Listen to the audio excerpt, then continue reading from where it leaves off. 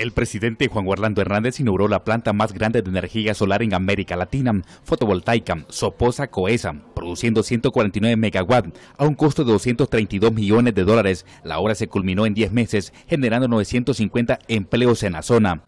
Hoy ya tenemos esta enorme capacidad instalada en el país y eso va a provocar que las próximas empresas, más allá de los 300 megas que vengan, entonces ya vendrán con opciones diferentes y mejores para todos. La energía solar es una fuente inagotable en el país, ya alcanza el 50% de producción dentro del parque energético a nivel nacional. Así lo informó el miembro de la Junta Directiva de Soposa y Coesa, Adolfo Laray. Eh, la inversión aquí total son 232 millones de dólares. Sí, estamos pensando en ampliar el parque incluso. Según los especialistas, la zona sur de nuestro país cuenta con las condiciones perfectas para producción de energía solar por sus largas horas de radiación y con eso van a diversificar la oferta de energía en el país.